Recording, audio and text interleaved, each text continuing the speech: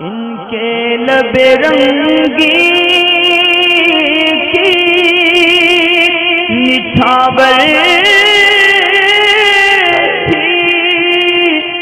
जिसने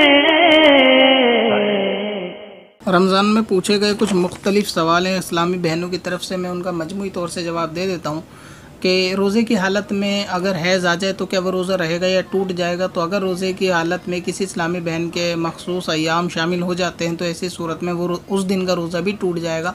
यानी वो रोज़ा नहीं रहेगा। एक इसमें सवाल होता है, क्या छूटे गए रोज़ों की कज़ा बाद में करनी होगी या नहीं करनी होगी? तो जी हाँ छूटे गए रोज़ों की कज़ा करनी होगी, यानी नापाकी के दिनों में जितने रोज़े छूटेंगे जिस इस्लामी बहन के तो बाद में उनको ईद के बाद उसकी कज़ा करनी पड़ेगी। एक इसमें सवाल ये भी होता है कि जो नमाज़ें छूटेंगी इस दौरान रमज़ान में, क्या वो नमाज़ें भी अदा करनी पड़ेंगी? तो जो नमाज़ होती है, हालत मखसूस अयाम के अंदर, औरत को हालत हैज़ में तो वो नमाज़ें मुतलकन माफ़ होती हैं, चाहे रमज़ान में हो या गैर रमज़ान में हो। उस दौरान जो नापाकी की हालत में नमाज़ें कज़ा होती हैं उनकी कज़ा नहीं होती, यानी उसको बाद में अदा नहीं करना पड़ता। ठीक इसी तरह जब आप आम दिनों के अंदर जो रोज़े रखेंगी तो उस दिन की भी आपकी पाँच नमाज़ें जो फ़र्ज़ होंगी, आपको सिर्फ़ वही पाँच नमाज़ें पढ़नी हैं, अलग से पाँच और, यानी एक दिन में दस नमाज़ें कज़ा नहीं करनी, बल्कि उस दिन की जो ख़ास प्रेजेंट की पाँच नमाज़ें फ़र्ज़ आप उनको अदा करें और रमज़ान का जो कज़ा रोज़ा है, उस कज़ा की नीयत से रोज़ा रखेंगे तो आपका ये काफ़ी है, अलग से पाँच नमाज़ें आपको नहीं करनी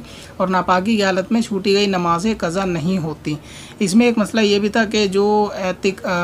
तरावी छूटेंगी नापाकी की हालत में तो क्या जब पाक होने के बाद रोज़े रखेंगे रमज़ान में तो क्या पिछली तरावियों को पहले आगे पूरा करना पड़ेगा? तो ऐसा भी नहीं है। जो तरावियाँ छूटेंगी नापाकी की हालत में इस्लामी बहनों की तो उन तरावी की कज़ा भी नहीं है। और इसमें एक भाई ने बताया था कि शायद इस्लामी बहनें इसलिए नमाज़, तरावी नमाज़ तरावी इसलिए नहीं पढ़ती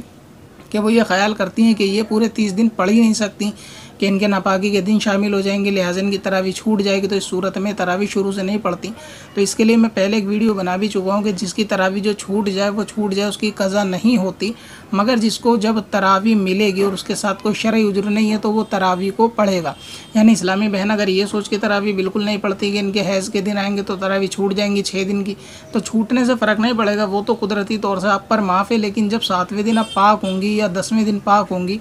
तो इसलिए आपको फिर वो बाकी तरावी की कज़ा नहीं पढ़नी, मगर प्रजेंट की जो तरावी हैं वो आपको पढ़नी है। तो इस ख्याल से तरावी भी ना छोड़ें कि हम क्योंकि नापाक हो जाएँगे तो तरावी हमें नहीं मिलेगी। तो तरा पाक होने के बाद जो तरावी आपको मिल रही है आप उसको पढ़ना शुरू करें पीछे की जो छूट गई उसको आप भूल जाएँ। लेकिन इस ख्याल से अगर आगे की जान बूझ कर छोड़ेंगे कि हमने पीछे की साथ छोड़ दी लिहाजा उनको हम पूरा नहीं कर पाएँगे तो उसको पूरा करना भी नहीं होता तो आगे की छोड़ने के एतबार से आप जो है गुनाह में शामिल हो जाए।